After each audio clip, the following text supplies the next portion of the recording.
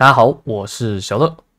内潜是风之谷每位玩家一定会碰到的东西，而在台版的环境中，有着许多的现金道具，使得台版玩家在内潜的选择上和其他服器有所不同。大多玩家都会把名誉留在内潜减半的日子去洗。嗯，虽然上一次内潜减半已经是一年前了，而且近期好像也没有打算要开放了。那今天这个影片，我要用我的三只角色的内潜来跟各位分享一下我洗内潜的思路。那我们马上开始吧。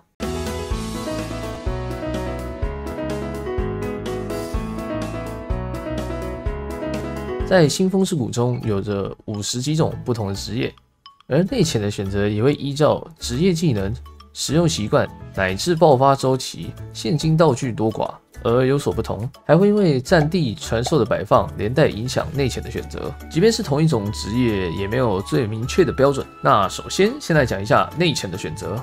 内潜总共有三条，在不使用超级传播者的前提下，最好的等级是传说罕见罕见等级。主要的选择是无冷、逼伤、加持、异常、爆率，其他像是攻击速度、被动等级加一，较少情况使用。这边就先不说。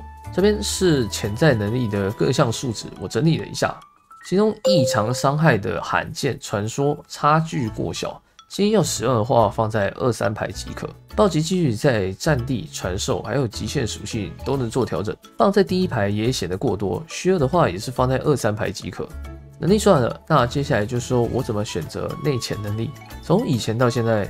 特别是内潜减半的时候，都会有观众来问我：“哎，主播主播，我的职业是叉叉叉，我该洗什么？或是我的内潜洗这样还可以吗？还要再打吗？”那我想说的是，完美内潜其实并没有那么容易洗到。在设定内潜目标，建议可以多留几种选择。名誉少的情况下，甚至可以考虑稀有等级的内潜，例如异常伤害五趴，或是暴击几率十趴，也都有着不错的效益。那为什么我要这么说呢？因为我三只角色玩了这么久，一个三排内潜都没有洗好啊。第一个角色是开拓者，目前的内潜是两排，二十趴无冷，十八趴爆率。开拓者的爆发是一百二十秒周期，武功的冷却时间是一百五十秒。冷却一次对于爆发周期的搭配比较方便。本身职业技能也有吃无冷，所以选择放在第一排。要使用无冷的话，我会放在第一排，二十趴和十趴几率差了一半。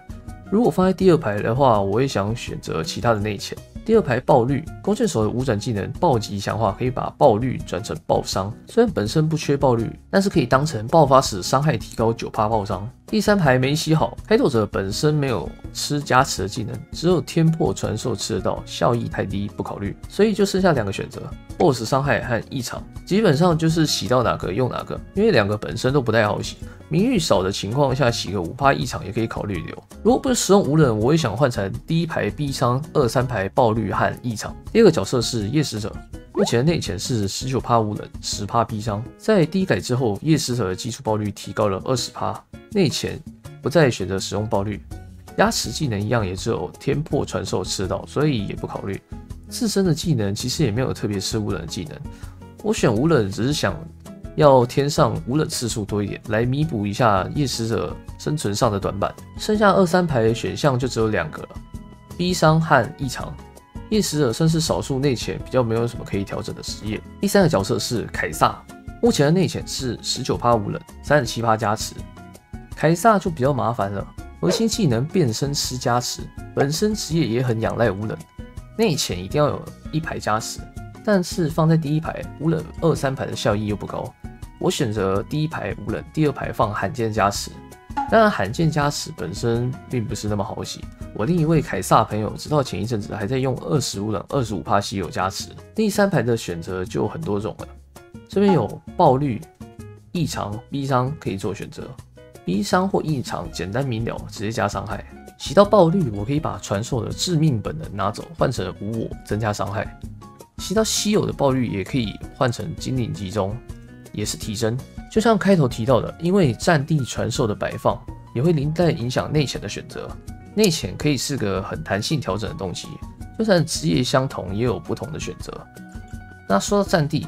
我的凯撒缺加持外，本身还缺一些爆率。在战地拼图里面，加持和爆率两个拼图放完是四十四十，但在内潜里面罕见加持爆率最高的数字是三八和二十，可以理解成在拼图里面一趴加持等于一趴爆率，但在内潜里加持的最高数字却又比爆率来得高。如果你的角色缺爆率又缺加持，那我也建议拼图补爆率，内潜补加持，但还是要看职业本身比较缺哪个能力啦。像是凯撒缺爆，但缺的不是很多，所以我拼图的选择上也是选择加持。除非像是火毒那种很需要加持，本身自带爆率又不高的职业，不然就是你的运气够好，可以洗个二十五冷三八加持二十爆率这种梦幻内潜。但我没看过几个人洗到就是了。以上就是我的三只角色的内潜啦，希望能帮助你们选择内潜。那接下来就是教各位该怎么洗内潜。